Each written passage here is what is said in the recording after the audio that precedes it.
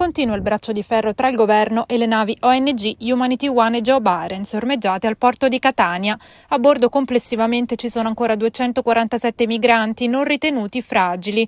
I comandanti si sono rifiutati di ripartire come chiesto dal Viminale. Le navi sono in banchina in attesa che la situazione si sblocchi. In porto manifestazione a sostegno di migranti che non sono stati fatti scendere con lo striscione porti aperti. Solidarietà!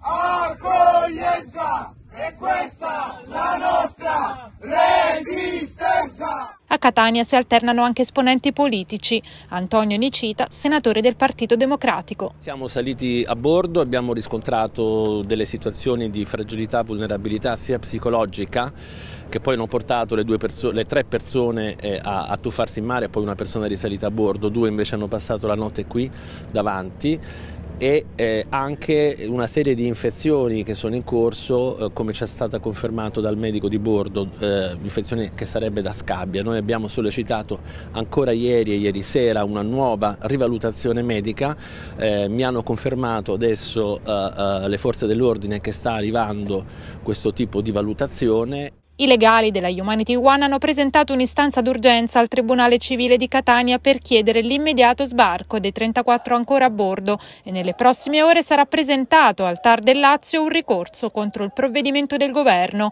che impone al comandante della nave di lasciare il porto.